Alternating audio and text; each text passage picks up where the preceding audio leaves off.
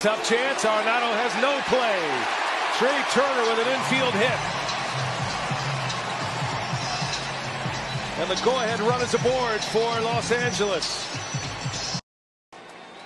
Three and two.